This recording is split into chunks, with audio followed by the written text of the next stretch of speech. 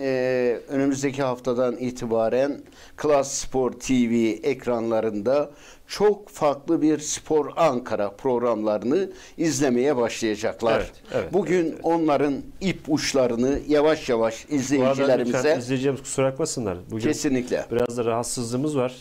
geçmiş olsun. sonra birazcık e, tabii programda şey yapamadık. E, yani katılmamak olmazdı. Onun için birazcık e, onların hoşgörüsüne sığınacağım. Affına sığınıyoruz. Evet, evet, Ee, önümüzdeki haftadan itibaren çok yoğun bir Spor Ankara programı olacak. Neleri konuşacağız? Onları hep birlikte böyle bir masaya yatıracağız.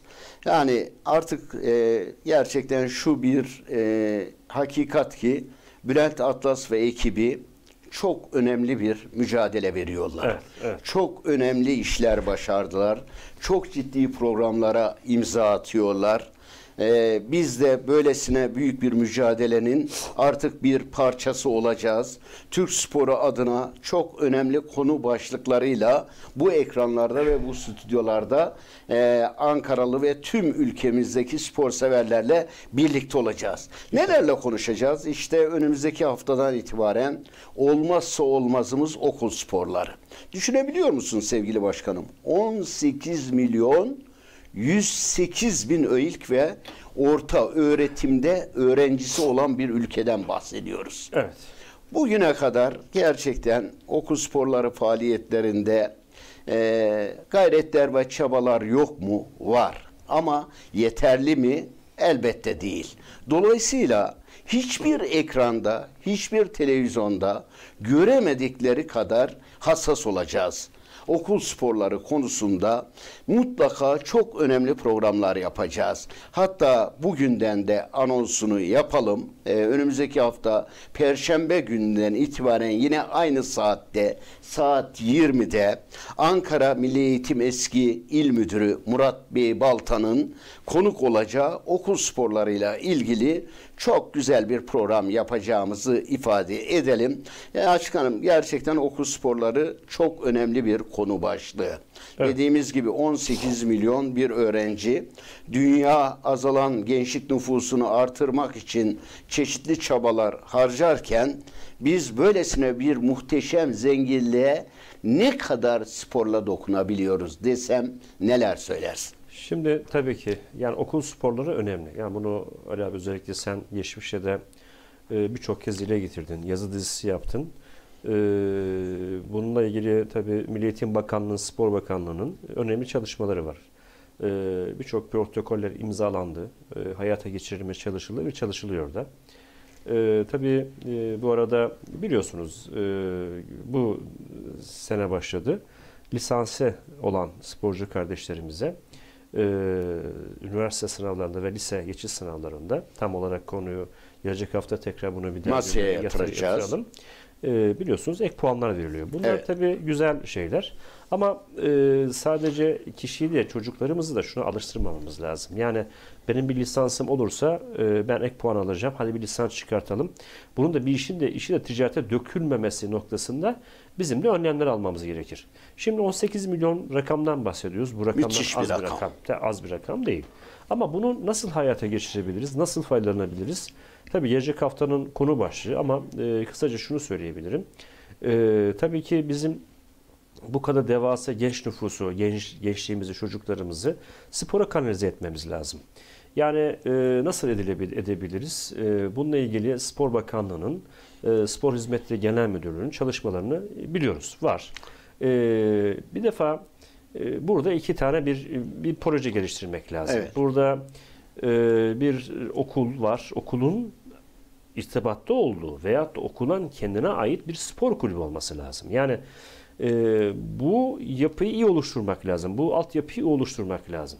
E, sadece işte okul sporları deyip e, karşıya geçmemek lazım. Ama bunu bir e, sistematik ve disipline edebilmek için bir yapının oluşması gerekiyor. Bu da daha önceki e, programda da dile getirmiş olduğum gibi mutlaka okul, spor, Ve aile. işbirliği tabii aile Aile. işbirliğinin Üçünün birlikte yapılmasında fayda Evet. olduğunu düşünüyorum. Nasıl olabilir? İşte e, okullarımızda e, yetenek taraması yapılır. İlkokullarda, ilk öğretimlerde başlar bu. Yetenek taraması yapılır ve yetenek taramasının sonucunda e, çocukların sınıflandırarak ilgili branşlara yönlendirilir. E, bu yönlendirildiği zaman bu buraya kadar iş e, burada iş bitmiyor. Bundan sonraki aşama, asıl aşama burada başlıyor. Bu yetenekli olan sporcularımızın spor yapabilecekleri kulüplere yönlendirmemiz lazım. Kanalize etmemiz lazım. İşte okulların çevresinde e, kaç tane semt kulübü varsa onlarla işbirliği yaparak o kulüplerimizin, o kulüplerimizin bu gençlerimizi yönlendirerek basketbol, voleybol, masa tenisi, futbol ne hangi alanda başarılıysa Her öğrencinin Tabii. mutlaka bir spor branşıyla Evet. ilgilenmesi çok önemli. Yapılabilir. Bu bundan Ma- zor şey değil. Bunu Olmak hayata geçir- zorunda da. Olmak da zorunda, Zorunda. zaten. Eğer biz bunu yaptığımız takdirde e, bu iş düzene gireceğini düşünüyorum. Şimdi burada şöyle bir e, sıkıntı yaşanıyor. Bunu siz de çok iyi biliyorsunuz. Şimdi bugün ülkemizde Spor Bakanlığı var. Spor Bakanlığı'nın görevi nedir? İşte e, sporla Sporun alakalı sevilip tüm- yaygınlaşması. Tabii tabii. Sporla alakalı No. tüm unsurların hayata geçirmesindeki en önemli bakanlıktır. Yani budur yani bu kurumdur. Dolayısıyla Sporun başındaki tabii en burada Milli etkin Eğitim kurum. Bakanlığı'nın elinde ne vardır? Genç nefis şey var, öğrencilerimiz Evet. vardır, çocuklarımız vardır. E, burada yapılan protokol gereği de e, ilerimizdeki yapılacak olan faaliyetleri efendim orada bazen bakıyorsunuz 3-4 tane başlık e, çift başlık meydana geliyor. Yani bir tarafta Milli Eğitim Bakanlığı, bir tarafta Spor Bakanlığı, bir tarafta yerelde Amatör Sporları Federasyonu, futbol il temsilciliği, basketbol il temsilciliği birçok e, efendim orada e, kişiler ortaya çıkıyor. Evet. Yani herkesin e, acaba biz nerede durmalıyız noktasında problem yaşanıyor. Evet. Bunu bir düzene sokmak lazım. Burayı bir disiplin altına almak lazım. Eğer futbolsa, basketbolsa oranın ilin temsil il temsilcileri vardır. O ilin temsilcileri üzerinden bu işler yürütülebilir. Efendim bu kanalize edebilir. Bunlar bir protokolle, bir e, yönetmelikle, talimatlarla hayata geçirebilir diye düşünüyorum.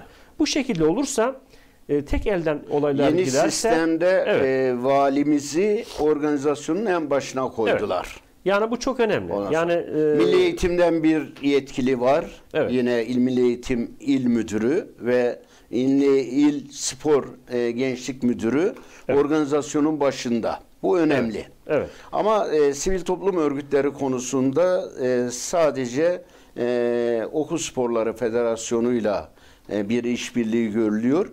E, başka işbirlikleri de olabilir. Özellikle illerdeki amatör spor kulüpleri federasyonlarının bu engin mutlaka- tecrübesinden yararlanılabilir. Mutlaka faydalanmakta fayda var. Evet. Ee, sevgili Ali abicim. Yani şimdi e, illerimizdeki bulunan futbol il temsilcileri, e, temsilcileri, ondan sonra tertip komitesi üyeleri, federasyonlar.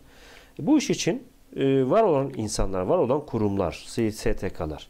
Dolayısıyla bunlardan faydalanmak lazım. İyi Bunlarla bir işbirliği yapmak lazım. Kesinlikle. Çünkü e, bu iş tabii karşılıksız gönül işidir. Yani siz oraya Ciddi bir yük var, Tabii, birlikte paylaşılırsa. Mesai kavramı, mesai kavramı olmadan, mesai kavramı, olmadan efendim çıkıp oraya gideceksiniz tamam buraya hizmet edeceksiniz. Dolayısıyla bu kurumlar bu noktada önemli kurumlar. Bunlarla işbirliği yapılabilmeli.